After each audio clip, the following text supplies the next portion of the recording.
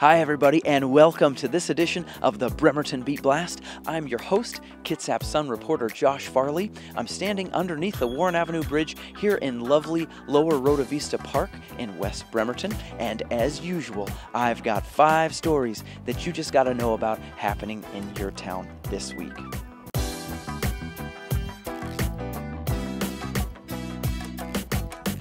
Story number one on our list, we're going to 4th Street and up to the Bremerton Office Machines Company. This is a long running company started in the 1940s by 94 year old Bob Montgomery. Mr. Montgomery, though, has now retired. He has an apprentice at the shop who now owns it. His name is Paul Lundy, and he's from Kingston. I spoke with both of them on Monday to find out how the transition of this very unique business has been going. He came by, uh, I think he's, uh, if he hasn't told you, he will, that he came by mostly out of curiosity what I was doing. And if you take, which one is it? I got an Underwood here. I started coming in every week, and, and before long, he was giving machines to work on and then telling me what mistakes I was doing. Um, he gave me old manuals to read, and I started having fun. Two years of production for, for Underwood. Story number two on our list the city of Bremerton finds itself on the receiving end of a class action lawsuit. Last Friday, a judge certified that a lawsuit over the Bremerton navy blue signs in downtown Bremerton can move forward. What that means is if you got a parking ticket in downtown Bremerton in the last three years, there's a possibility, if the lawyers for the plaintiffs are successful, that you might get your money back or who knows what the remedy will be. However, city officials maintain that there's nothing illegal about the signs, though arguments for the plaintiffs basically revolve around the idea that the signs are not up to state and federal standards. Not sure where this one's going, but I will be sure to keep you posted in the months ahead.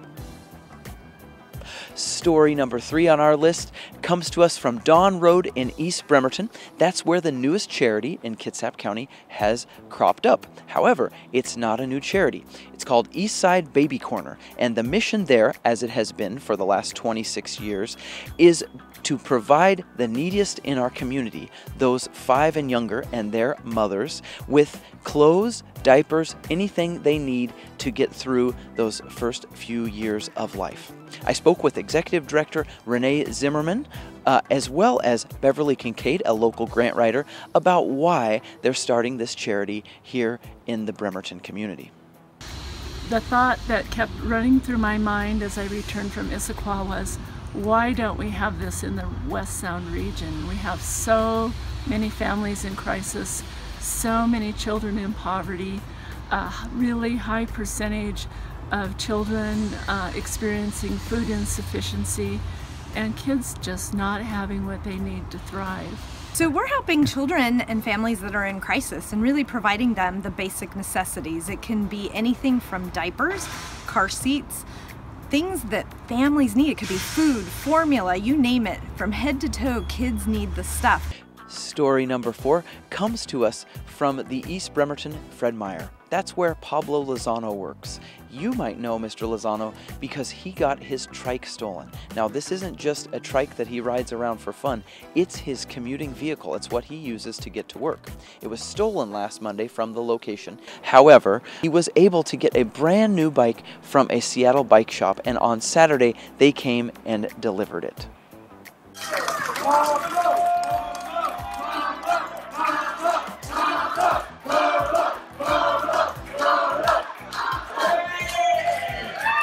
And finally, story number five on our list this week is the Warren Avenue Bridge. We've talked a lot about this bridge on the Bremerton Beat Blast, but on Saturday, we're to walk it. In fact, we're going to walk both sides of the bridge and we're going to learn all of the history about this 1958 built span, as well as things on both sides of it. Lower Rota Vista Park, for instance. what is the city doing with the Lebo Boulevard project? All of those things will be discussed uh, on Saturday. We're starting at 1 p.m. at the old Cencom building, 1720 Warren Avenue, and I sure hope you can join us there. It's free. Be prepared to walk maybe a couple of miles, but uh, we're going to have a great Saturday afternoon, and everybody, I promise, will learn a lot. That's going to do it for this edition of the Bremerton Beat Blast. I hope you have a great rest of your week. I'm going to leave you with the sights and sounds of the dancing horses from last Saturday's Cinco de Mayo Festival in Charleston, and we'll see you again next Tuesday.